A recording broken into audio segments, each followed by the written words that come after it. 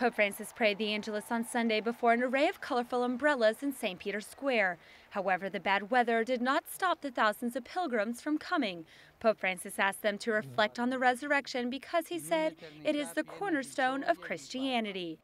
Ma attenzione, la risurrezione non è solo il fatto di risorgere dopo la morte, ma è un nuovo genere di vita che già sperimentiamo nell'oggi.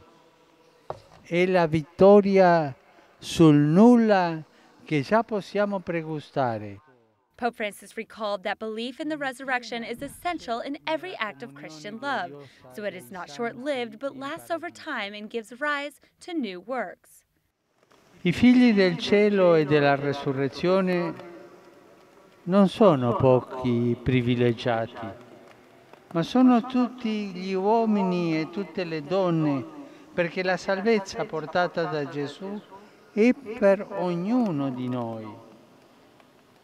E la vita dei risorti sarà simile a quella degli angeli, cioè tutta immersa nella luce di Dio tutta dedicata alla sua lode, in un'eternità piena di gioia e di pace.